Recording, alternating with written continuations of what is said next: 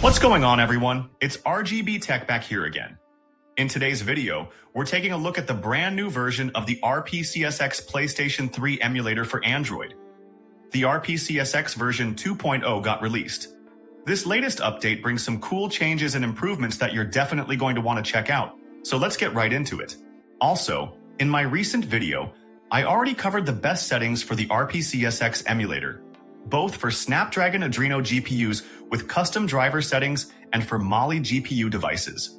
Now in this new update, they've added some new features, fixed a few crashes and bugs, and also updated the internal drivers in the emulator.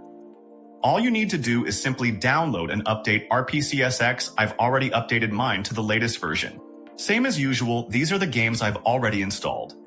Let's go over to settings. Here, you'll see a few new options. They've added a download channel section and controller configuration. In the channels section, you'll be able to access the official sources of the RPCSX emulator, where you can get GPU drivers, the RPCSX UI, and other important files. Now, if we go into custom GPU driver, I've already added the compatible turnip driver based on my phone. I'm using turnip driver version 25 R2 and R3, which is well optimized for the Snapdragon 8 Gen series and even some 6 series chips. I already have a separate video all about drivers. If you missed it, check out the link in the description or in the cards. Let's head into controls. This part is new. They've added haptic feedback support for the virtual controller, and you can also customize the key mappings. And that's it. Those are the main new changes. Let's go to advanced settings. All the performance settings here are the same as I showed in my recent videos. Set the resolution to the lowest 480p, shader precision to low, and the rest stays the same. Scroll down to the bottom and you'll notice that they've moved a couple of options down here. Under Vulkan, go to Custom Driver and make sure Turbo Mode is enabled. Performance Overlay should also be turned on to get FPS readings. And that's pretty much it. Alright guys, now it's time for the test.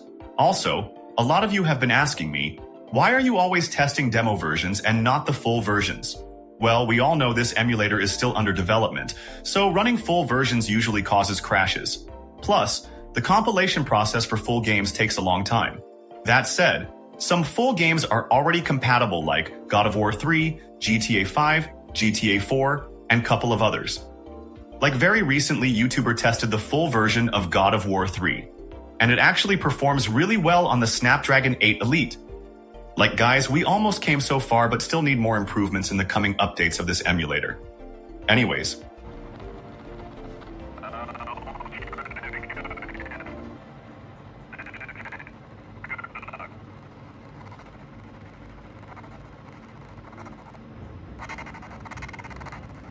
Okay.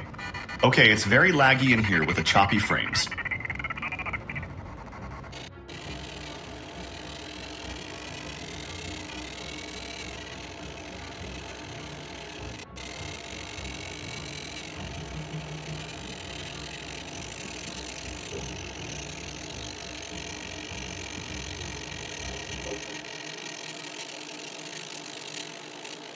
Anyway, let's save the state of this game.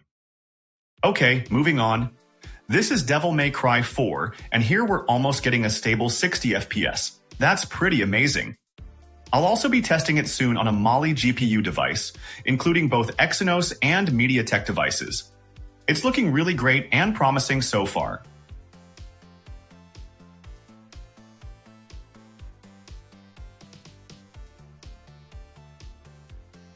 Alright, that's it for this one. If you enjoyed the video or found it useful, make sure to leave a like, subscribe to us, and turn on notifications so you're always up to date with the latest videos. Got any suggestions or questions? Drop them in the comments below. I'm always checking and happy to help. Thanks a lot for watching, and as always, and I'll see you in the next one.